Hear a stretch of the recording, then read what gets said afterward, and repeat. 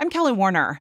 Many students attending college in the Eugene Springfield area are eligible for free passes to ride LTD buses. The passes allow students a convenient way to get where they need to go without the added expense of having their own vehicle. And riding the bus helps reduce greenhouse gas emissions with fewer vehicles on the road.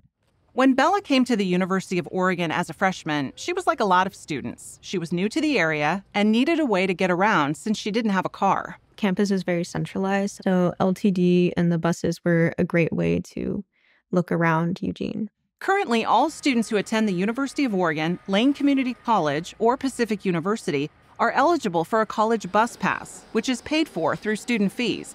And the pass can be used on LTD's neighborhood routes and EmX. A lot of our colleges in the area do not have a lot of space for parking. So, this program is really focused to get the students to use transit instead of bringing their car to campus, which helps reduce their cost of going to school and gives them more freedom. And it's just convenient a lot of the times because if you're on campus late, um, it's easy to find a bus to, to get home or wherever you need to go. Another thing that I like about being on the bus is it's relaxing. Sometimes I just like staring out the window and thinking about things.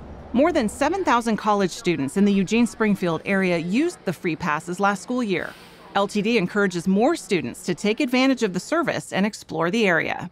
Get the pass and see where LTD can take you and what adventures you can go on. If you are currently a student or know a student who attends the University of Oregon, Lane Community College, or Pacific University, you can get more information on how to access a free bus pass through your school at rideltd.org/college.